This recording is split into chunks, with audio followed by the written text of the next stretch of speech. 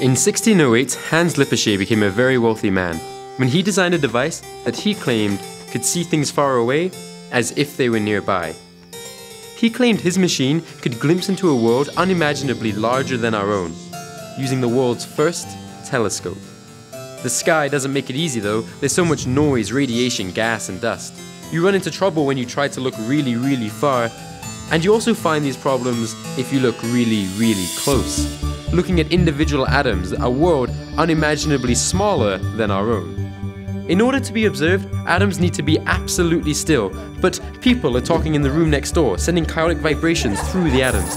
The secretary's high heels storm down the hall, Wi-Fi and cell phone reception zips through the air, the bus trembles the ground below, and tectonic plates shift, slip and slide. The entire Earth is quivering with energy. The atoms are dancing with life. The problem with looking really, really small is you have to consider the entire universe.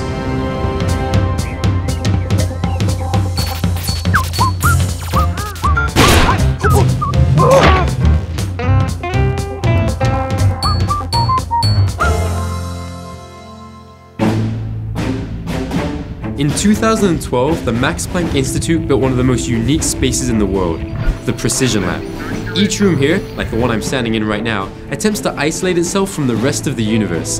Thick concrete walls block any acoustics from getting inside. Large, tight metal sheets form what's called a Faraday cage, blocking any electric fields from getting in. The entire room sits on a 100-ton slab of concrete held up by highly pressurized air springs. Every cable, pipe and wall is carefully designed to ensure that absolutely nothing can interfere with the experiment.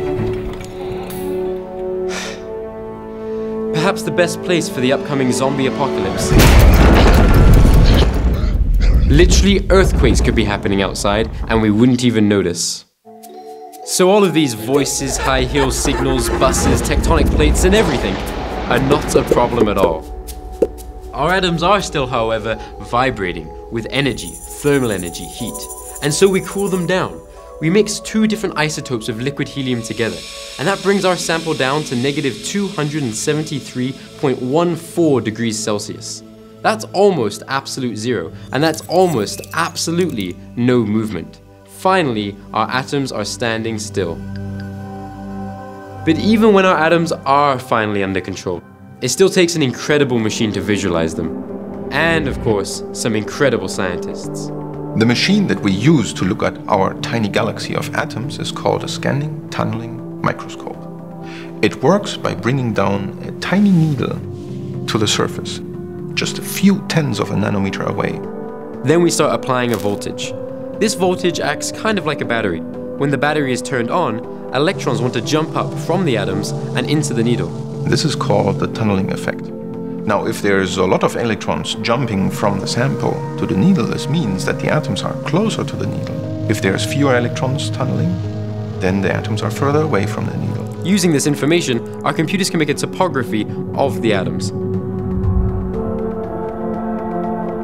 But what we're really interested in is not just the atoms, but what's going on inside the atoms. With the temperature of the STM being so low, we kind of freeze the inside of the atoms as well. And this is so that we can look at, for example, tiny magnetic moments inside the atom called the spins. This is a smaller world beyond the atomic scale. This is quantum mechanics. And when it's so cold and quiet, what happens if nothing happens? What is there behind the curtain, behind the curtain? Christian's millikelvin STM attempts to literally stop the universe, or at least a very small part of it. It's the Hubble telescope of the nanoscale world. It's one of the few places on Earth that is truly a tranquil, noise-free environment. It's colder and quieter than even outer space. space, space, space.